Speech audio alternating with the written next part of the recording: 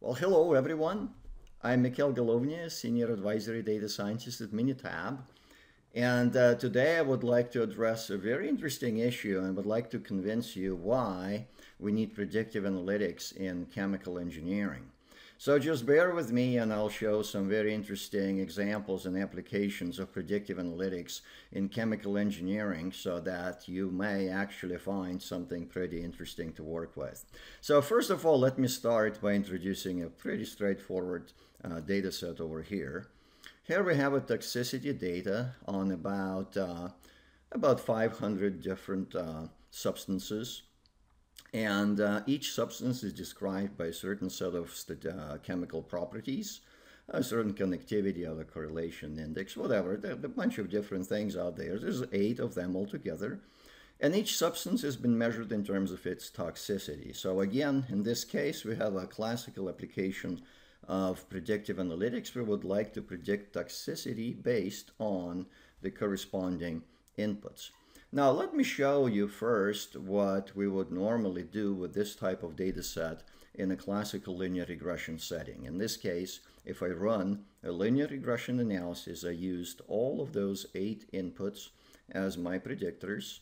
Uh, the software, in this case I used Minitab regression module, estimates uh, this particular equation for me, and I also requested tenfold cross-validation to estimate a measure of R squared, and in this case it's about 46% accurate. So it's not stellar, not spectacular, but it's also not zero. So we're somewhere in the upper 40s as far as the accuracy is concerned.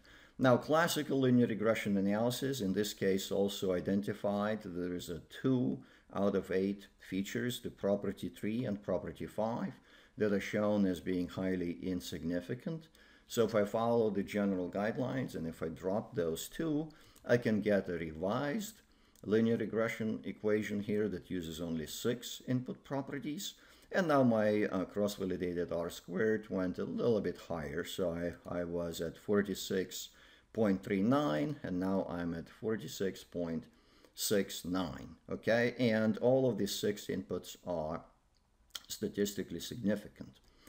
Okay, now the big question is, uh, what do we do with this now? I mean, where do we go from here? Now, what usually happens in chemical engineering, uh, an example like what I've just showed to you would be an oversimplification. You usually deal with much wider and larger sets of predictors, and they usually hit the natural limitations of uh, classical linear regression analysis. Like, for example, in this case, if I had more than 500 individual properties. Let's say if I were to work with some mass spectrometer data or some other things that are usually highly correlated with each other, that would lead me into trouble. That explains also why oftentimes uh, classical linear regression is not being used directly in chemical engineering applications. So how can we approach that same problem if we had large number of predictors? Well, what is usually done is uh, a whole family of techniques uh, when one of them is known as partial least squares that proceed by summarizing all of these original inputs, and there could be lots of them, into individual component scores. So for example, if I had uh, 700 of these different chemical properties, PLS regression would allow me to create in an intelligent way, following certain internal guidelines and algorithmic prescriptions uh, of these linear combinations that are called here score 1, 2, 3, 4, etc.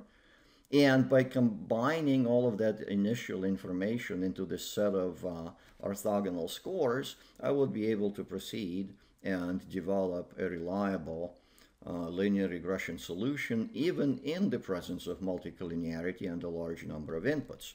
Now, in this case, if I run this PLS process, and again, it's very popular among chemical engineers precisely for the reasons that I've just laid out. So if I keep adding the components, and in the PLS, the max number of components will be the max number of independent dimensions of the data cloud. So in this case, I could add all eight, and as I keep adding them, my R squared uh, on the training data will go up, eventually reaching the performance of uh, OLS regression. But it's also clear from this table here that if I retain four components, I'm already within the ballpark of my overall regression performance. And these four components should summarize enough of the information available in the entire data set. In real life applications, sometimes chemical engineers will go to as few as two components and then they just look at the plots and do all of this. But you don't have to, and when you, when you look at all these different approaches, this uh, experiment becomes important because it allows you to see the level of information retention that you have as you construct those components. Okay, now how do we interpret PLS regression? First of all, once you've constructed those four components, what happens underneath is that those four components are used in a classical linear regression setting. So what I did here, I asked Minitab to score four components from PLS, and I went ahead and used Minitab regression module to generate classical OLS regression using those four components as inputs. And notice this allows me to use tenfold cross-validation to estimate the unbiased measure of performance. And in this case, I'm getting about 45%.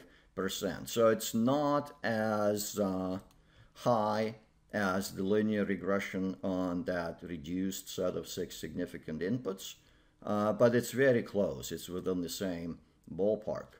And again, as I have said, each individual components, these scores 1, 2, 3, and 4, are constructed by creating a linear combination of the original eight inputs. Okay, so this is what we, uh, what we call the table of loadings, and this is uh, the coefficients that can be used to construct these guys over here.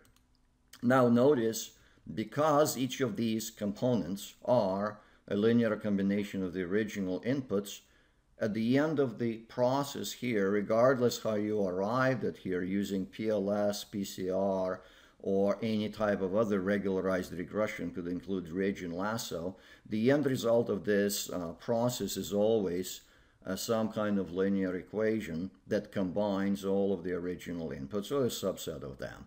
So in this case, if I unroll all of these individual scores, then I will get uh, the ultimate set of coefficients and uh, if I cross-validate, it gives him that particular measure of performance.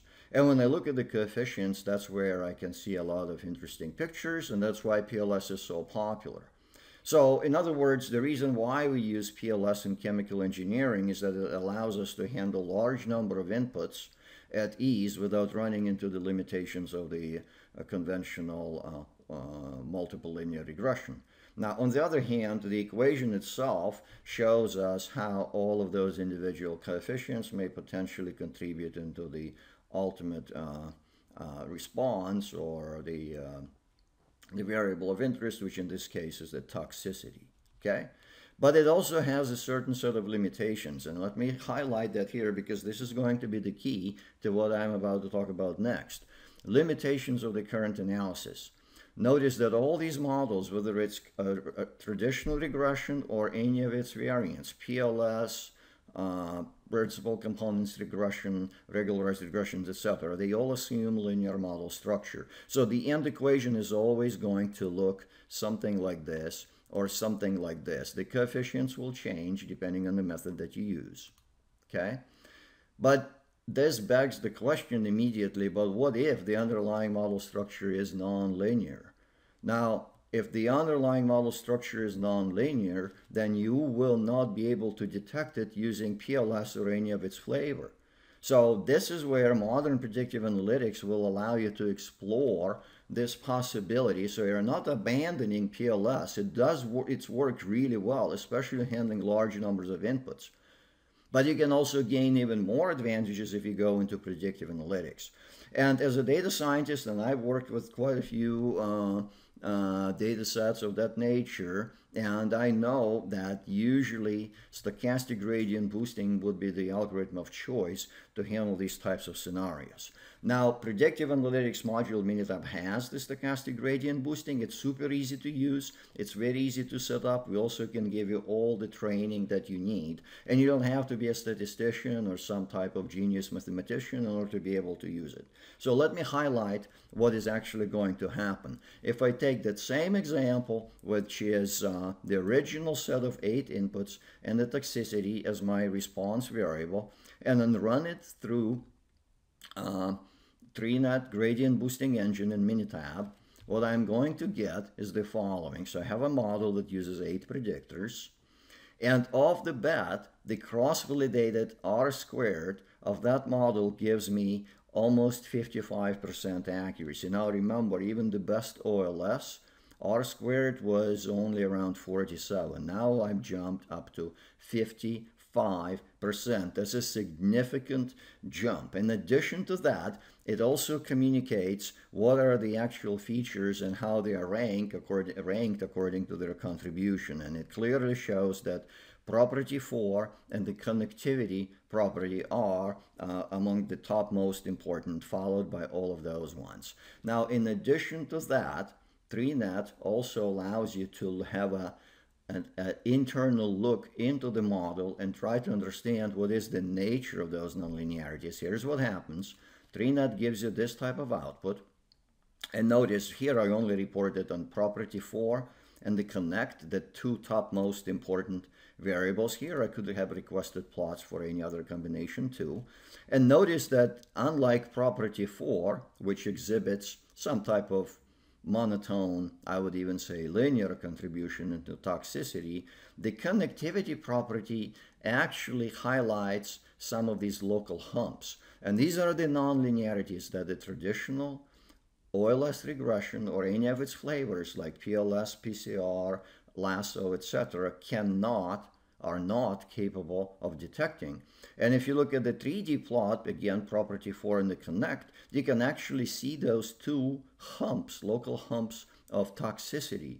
Now, depending what you're looking for to in, having the highest toxicity, let's say you're working with a pesticide and you need to identify the optimal combination of inputs that are uh, most toxic or the other way around, you're looking for safety, etc., etc. These plots will allow you to see that immediately. So notice you step all the way above the conventional interpretation of uh, linear regression in any of its flavors. But you don't have to stop there. Here is what happens. Remember, when I ran PLS, I've added these individual scores. Now, it, can actually be very beneficial for me to see if I can use these scores as inputs in uh, predictive analytics uh, uh, algorithm of the same type, say like TreeNet. So if I run TreeNet not on the original scores, but on these derived scores, I can actually identify additional structure there. And here's what happens when I do that. TreeNet and the PLS components, so I took four of those components, and remember they summarize information, dominant information from the entire data set. It could be summarizing information from tens of thousands of inputs or spectral lines or whatever is it that you're dealing with as a chemical engineering, uh, a chemical engineer. And notice in this case, it actually gives me a cross-validated R squared of 56 plus percent.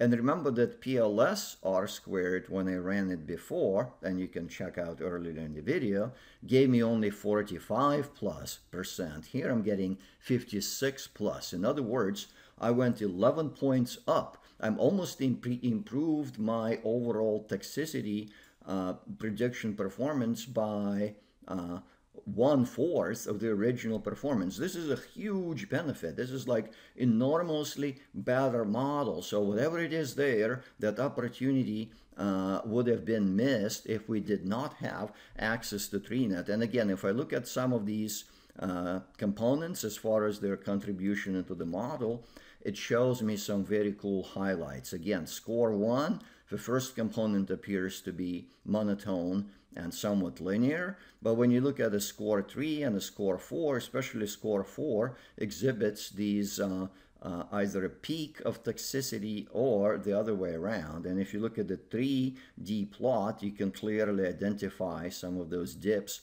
and valleys. Now, this type of picture can generate lots of excitement among chemists, among your bosses, among your clients, and among all these other people who are engaged in these types of research. Because notice these are the types of things that cannot be identified by conventional PLS. And yet at the same time, I took advantage of the PLS to derive all of these important scores that you can look at how they are constructed and everything. You can study the loadings and all the other things. And on top of that, I've actually identified very cool nonlinearities and interactions. So to summarize, our findings in conclusion, what we've realized is that the modern predictive analytics techniques such as TreeNet, and again, this is what I would recommend you start with on this class of applications, they allow to enrich and augment the findings of classical regression analysis, including PLS. Like in this particular data set, it's a real life data set. TreeNet has dramatically improved the accuracy of the classical PLS model. When you saw it, the cross-validated R-squared went from 45 to 56%. That's a significant increase. And this increase in accuracy is explained by a significant nonlinear interaction between the top or among the top PLS components, okay?